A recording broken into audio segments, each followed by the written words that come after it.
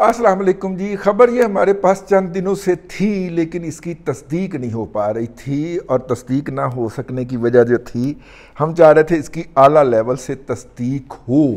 और वो तस्दीक आज हो गई जी। मरीम नवाज़ शरीफ जो थी, वो अदालत में पेश हुई और मरीम नवाज़ शरीफ ने वहाँ पे एक बड़ा लंबा खिताब किया। तकरीबन अगर मुझे आप कहने की इजाज़त दीजिए तो दो बज के अट्ठाईस मिनट पर वो शुरू हुई आ, उनका ख़िताब शुरू हुआ। ख़िताब ही कहना चाहिए ना जिसको बड़ी लंबी उन्होंने आज तकरीर की है। नॉर्मली इतनी लंबी तकरीर वो अपनी पेशी पे करती भी नहीं है ख़ास तौर पे जब 40 प्लस टम्परेचर था इस्लामाबाद के अंदर तो वो और उनके बेशतर जो साथी थे वो धूप में खड़े होकर ये ख़िताब कर रहे थे।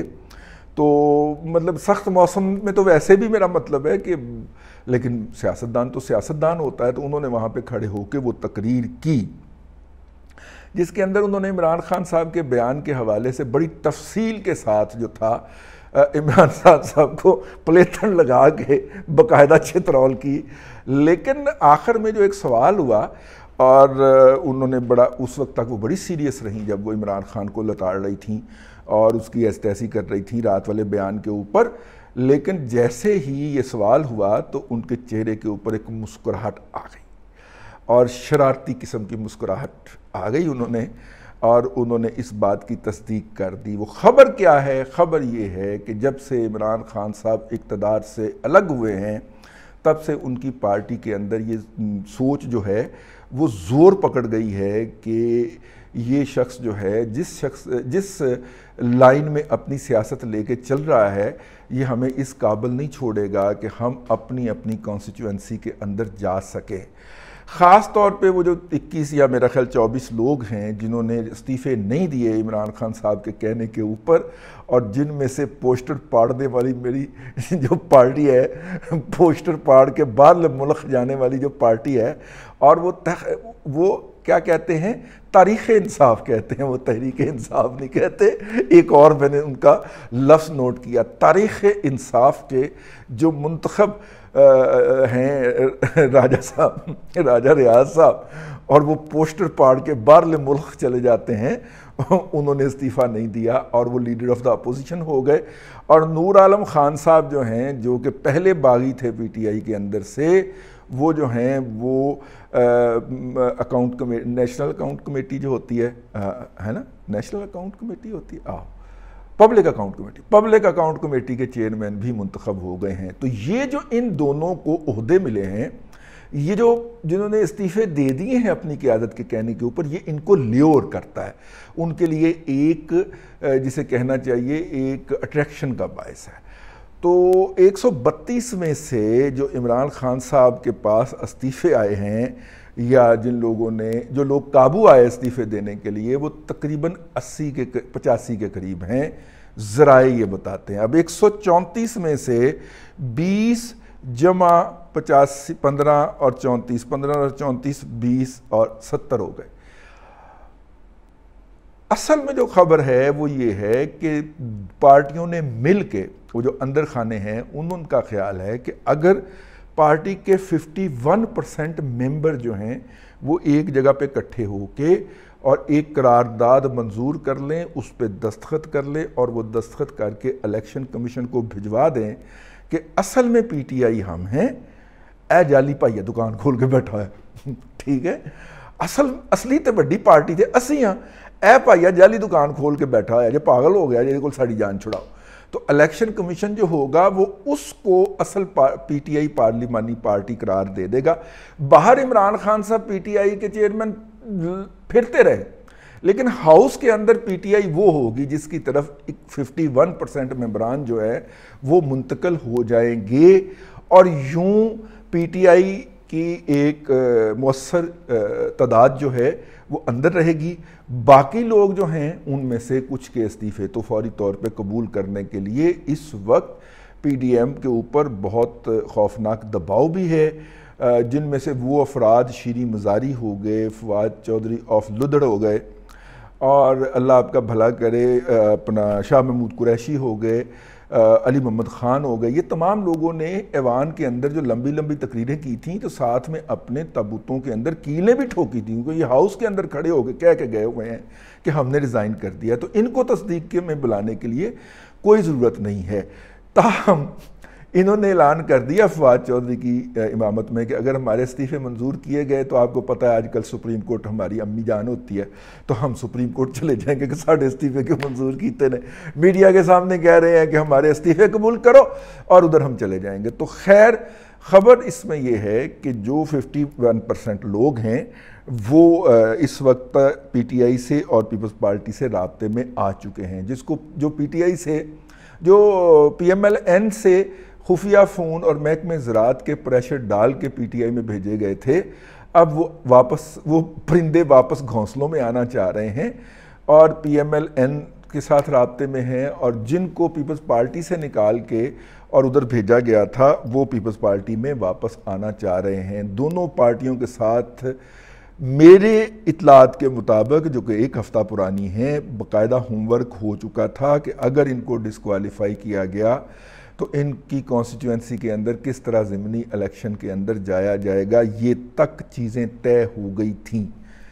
आज मरियम नवाज़ शरीफ से एक सवाल हुआ, दो सवाल हुए, लेकिन उसमें से एक सवाल ये था, उन्होंने कहा कि मैं इस अमर की तस्दीक करती हूँ कि मैं झूठ नहीं बोलूँगी। मैं हमेशा सच बोलती हूँ, ठीक है? उन्होंने पूरा माहौल सेट किया कि ये जो लोग हैं, ये हमारे साथ रबते में आ चुके हैं।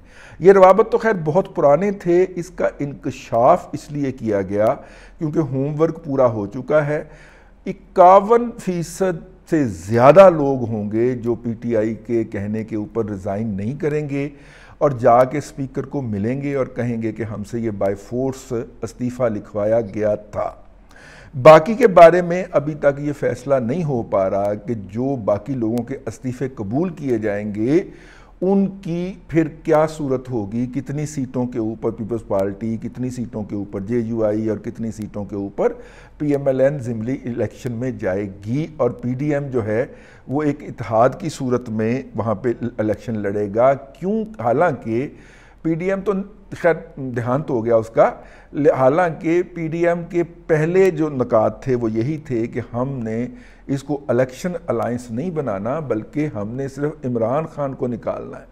तो अगर पीडीएम मौजूद होता तो जिस दिन इमरान खान नो कॉन्फिडेंस के ज़रिए मूव आउट हुए हैं उसके बाद जो है वो उनको कर दिया जाता। वैसे यार बख्तावर बेटी जो है ना, उसने भी हाथ खोल लिया। अब हाथ में पकड़ा उसने छितर और मुईद पीरजादा की हाय हाय हाय हाय हाय हाय, बड़े मज़े आए ने, बड़े मज़े आए ने, बड़े मज़े आए ने, वो चित्रौल की है। वो कोई खातन का कैडेट कॉलेज है जी दो अरब रुपए की लागत से सिंध में बना है। और मैंने भी जब उसकी एडवर्टाइजमेंट कैंपेन शुरू हुई तो मैंने कहा, यार, दो अरब से जितने भी सिंध के अंदर कॉलेजेस हैं, उनके वसाइल पूरे किए जा सकते थे। ठीक है?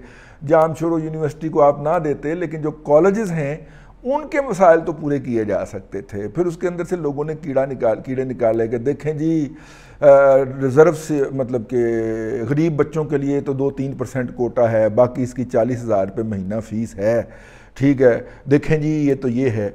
आखिर में जो मोईद पीरजादा ने एक बोंगी मारी, वो ये थी कि ये देखें जनाब, ये इसके बाप का पैसा है। ये बख्तावर जो इनकी साहबजादी है, उसके नाम के ऊपर जो है, वो उन्होंने ये कॉलेज बना दिया। उत्थे फिर बख्तावर बीबी की एंट्री हुई है। आए, हाय हाय हाय। बड़ा मज़ा आया, बड़ा मज़ा आया, मैंने तो बड़ा मज़ा उसने एंट्री डाली, उसने कहा कि आप जो हैं, वो एक जाहिल मुतलक शख्स हैं।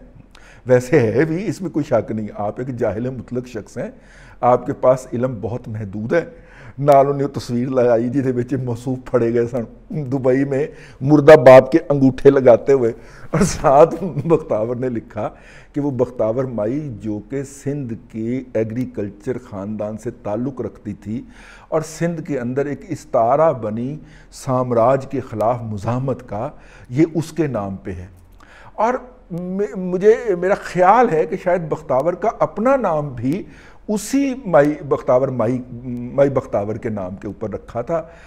और मतलब कि ये इसलिए तो उसने फिर बेटी ने जैसे चतरौल फरमाई है ना, अब पता नहीं वो अपना ट्विटर खुद हैंडल करती है या कोई और करता है, लेकिन अंग्रेज़ी से तो लग रहा था कि वो खुद अपना ट्विटर हैंडल करती है। तो मोहित पीरजादा साहब की फिर चित्रौल हो गई। कुछ दिन खाली नहीं जाने देते वो। तो इस दिन उन्होंने ये आला लेवल की चित्रौल करवाई है। मैनू बड़ी खुशी है कि जो बंदा इस तरह की बोंगी मारता है, उस पर इसरार करता है। देखो, मेरे को गलती होएगी ना। और मेरी कोई निशानदेही मेरा छोटा सा फॉलोअर भी, दस फॉलोअर फॉलोइंग वाला भी फॉलोअर अगर कहेगा कि जी, ये पॉइंट गलत है, मैं फ़ौरन वो डिलीट कर दूँगा। मेरी को अन्ना का मसला थोड़ी है। या मेरी को ज़ाती लड़ाई थोड़ी है, या मुझे आईएसपीआर की सिफारिश के ऊपर प्राइम मिनिस्टर जो है, वो करोड़ों रुपए महीने ऐसे ही मेरी जेब में तो थोड़ी डालता है कि मैं उसके लिए खून खार हो जाऊँ और उतर जंग के ऊपर कि मैंने ये नहीं छोड़ना क्योंकि मेरे मफादात वाबस्ता है। मैं तो हमेशा सीखने के लिए तैयार रहता हूँ। और इंसान जो है वो तो कब्र की दीवारों तक सीखता है, अपनी गलतियों से। खैर, ये दरमियान में आ गया। तो खैर, मेरी खुशी थी मुझे जिस बात की, उसका मैंने आपको इजहार कर दिया, लेकिन वापस आते हैं। अब इसके लिए मुकम्मल होमवर्क हो चुका है जी, ये भी हो चुका है। इस पर थोड़ी सी अभी होमवर्क बाकी है कि कौन सी पार्टी कहाँ पे इलेक्शन लड़ेगी। पीपल्स पार्टी जो है, उसने पंजाब हुकूमत बनते ही जो था, वो रोला डाल दिया कि हमारे हकूक़ के ऊपर डाका पड़ गया, असी लुटे गए, असी मारे गए, ठीक है। अब सात अरकान में से पाँच उन्होंने वज़रा बनवा लिए हैं और वो अब वो लुटे गए, मारे गए, ठीक है। और वो चाह रहे हैं कि मैक्सिमम स्क्वीज़ आउट किया जाए पीएमएलएन से पंजाब की हुकूमत में, क्योंकि ज़ाहिर है कि पीपल्स पार्टी ने उनका पंजाब की हुकूमत गिराने में साथ दिया है और इस साथ के साथ साथ उन्होंने उनको वो भी दिया और वजारतें भी हमें हमारी मर्ज़ी की दी जाएँ। ये उनका ख्याल है और इसके लिए वो मीडिया के ज़रिए भी प्रेशर डाल रहे हैं और डालना चाहिए उनको अपना मैक्सिमम शेयर लेने के लिए। पीएमएलएन का ख्याल है कि नहीं हिस्सा बकदरे जुस्सा होना चाहिए यार। हम जो हैं, वो इतनी बड़ी पार्टी हैं और हमारे सात वज़ीर हों और आप जो हैं, सात अरकान वाली पार्टी के पाँच वज़रा हों और आप मशीर भी दो बनाने की बात कर रहे हो तो यार थोड़ा सा हाथ हल्का कर लें यार। लेकिन पीपल्स पार्टी ने उसके ऊपर खप शप डाल के पहले मरहले के अंदर तो अपना हिस्सा ले लिया है। और वो ये खप जो डल रही है और इसका बड़े बड़े दोस्त मेरे ऐलान करते फिर रहे हैं इसके अंदर ये वाला हिस्सा भी शामिल है कि जो आइंदा इलेक्शन आ रहे हैं, जिसमें पीडीएम इलेक्शन में जाएगी तो बाकी हमें, हम पंजाब से मैक्सिमम वो वाली सीटें गेन करें। देखें ना 20 सूबाई असम्बली के लोग डिसक्वालीफाई हुए हैं हमजा के लिए। अब उनका होना है ज़िमनी इलेक्शन मेरे ख्याल जुलाई में होना है। तो इस जुलाई के इलेक्शन के अंदर, जहाँ पे P people P M L N लोगों को टिकटें दे, वहाँ पे पीपल्स पार्टी को भी सीटें दी जाएँ ताकि वो अपने लोग वहाँ से जितवा सकें। क्योंकि अगर पी एम एल एन उसको सपोर्ट कर रही होगी तो उसका जीतना तो एक फितरी अमर होगा ना पंजाब के अंदर। तो ये सारा जो माहौल क्रिएट किया जा रहा है कि जनाब टूट गई थी हुकूमत तो ये हो गया था तो वो हो गया था। नहीं, वो उस, उधर नज़र रख के बैठे हुए हैं कि ज़िमनी इलेक्शन के अंदर हम जो हैं, वो सीटें जो हैं, वो maximum P P M L N से खींचें। और अपनी अददी अक्सरियत बढ़ाएँ। तो इसमें शोल्डर रबिंग चल रही है, मेरा ख्याल है, नवाज़ शरीफ जो है वो गिव इन करेंगे और दे देंगे पीपल पार्टी को, ठीक है? क्योंकि उनकी लड़ाई जो है वो बड़े लेवल पे है। तो बड़े लेवल पे जब बंदा लड़ाई करता है तो छोटी छोटी चीज़ों को नज़रअंदाज करता रहता है, ठीक है? आओ। तो खैर, ये ये एक अलग से ख़बर है, लेकिन ख़बर जो है वो ये है कि जो गैर फितरी तरीके से एक चीज़ वजूद में लाई गई थी, वो फितरी तरीके से अपने अंजाम को पहुँच रही है। आपने पॉपकॉर्न मंगवा लेने हैं, साथ में पेप्सी या कोक जो भी आपको पसंद हो, वो रख लेनी है। मैच चल रहा है, बड़े दिलचस्प मरहले में दाखिल है। आपने बस पॉपकॉर्न खाने हैं, पेप्सी या कोक पीनी है और इन्जॉय करना है। और ख़ास तौर पे इन्जॉय करना है पीएम, पीटीआई की चीखों को, जो कि आपको बदस्तूर बुलंद होती हुई मिलेंगी। आजकल बेचारे एक तो चीखा मार रहे हैं और दूसरा अपने महात्मा का वो गंद समेट रहे हैं, जो रोज़ाना से वो मुँह के रस्ते पाकिस्तान के सियासी माहौल में फैला रहे हैं। अब तक के लिए इतना ही। अल्लाह तबारक व ताली आपको आसानियाँ अता करे और आसानियाँ खल के खुदा में तकसीम करने की तोफ़ी अता करे।